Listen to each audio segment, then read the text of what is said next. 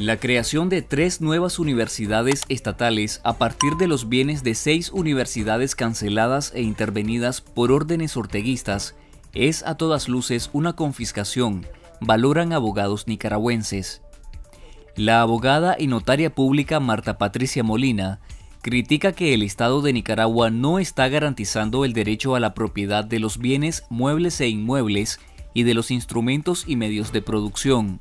Un segundo jurista que solicitó el anonimato coincidió en que las tres leyes aprobadas por la Asamblea Nacional constituyen una confiscación de facto y además caen en lo ilógico porque las universidades que ya fueron disueltas ahora se convierten por arte de magia en otras universidades. Sin temor a equivocarnos, puede asegurarse que estamos ante la confiscación más dañina y más grande que se ha realizado en Nicaragua en las últimas décadas, agregó el jurista. Los diputados de la Asamblea Nacional controladas por el sandinismo aprobaron este 7 de febrero la creación de las universidades Francisco Luis Espinosa Pineda, Universidad Nacional Politécnica y la Universidad Nacional Multidisciplinaria Ricardo Morales Avilés, a través de las cuales traspasan al Estado los bienes de las canceladas Universidad Politécnica de Nicaragua UPOLI, Universidad Popular Nicaragüense UPONIC, Universidad Católica del Trópico Seco UCATSE, Universidad Nicaragüense de Estudios Humanísticos UNE y la Universidad Paulo Freire y la Universidad Hispanoamericana. Lea la noticia completa en nuestro sitio web confidencial.com.ni.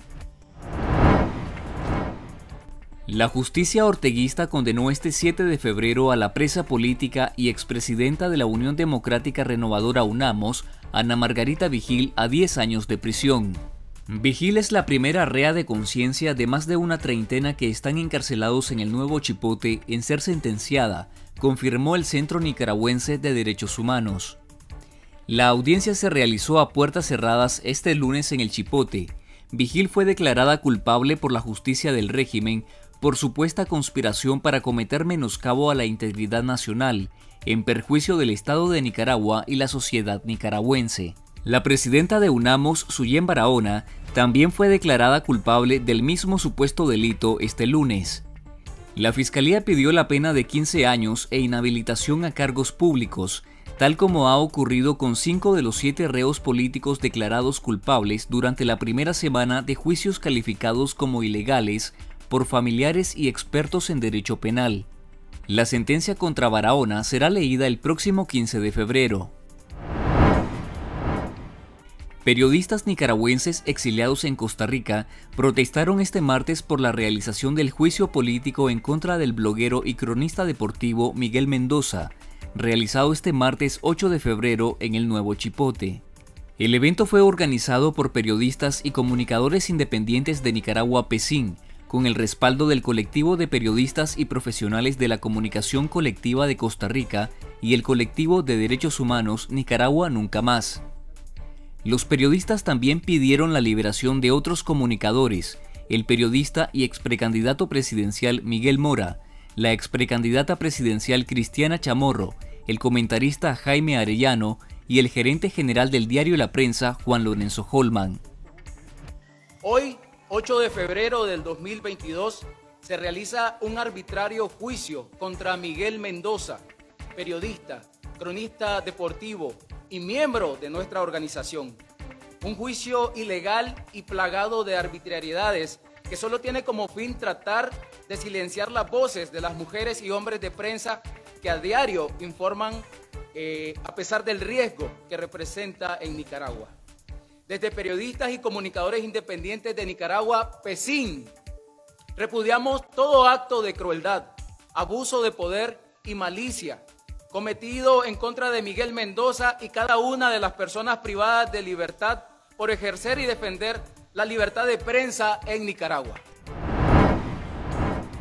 En tres meses y medio, Nicaragua pasó de ser el último al cuarto país de Centroamérica con el mayor porcentaje de población vacunada con dos dosis contra el SARS-CoV-2 y la primera nación de esta región con más personas inmunizadas con una dosis, según la Organización Panamericana de la Salud. La última actualización sobre la vacunación en las Américas, publicada el 2 de febrero de 2022, revela que el porcentaje de vacunados en Nicaragua con dos dosis es del 53.74%, mientras que el de una supera el 78%.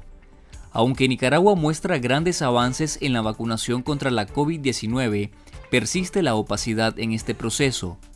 El MINSA no ha reportado a la OPS cuántas personas han recibido la dosis de refuerzo, pese a que la aplican desde noviembre pasado.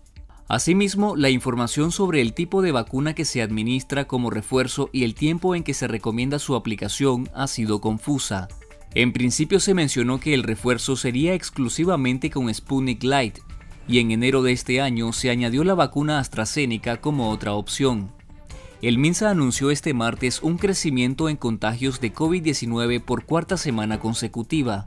En el periodo del miércoles 2 de febrero al martes 8 de febrero, el ente sanitario reporta 82 nuevos casos, 23 más que la semana anterior.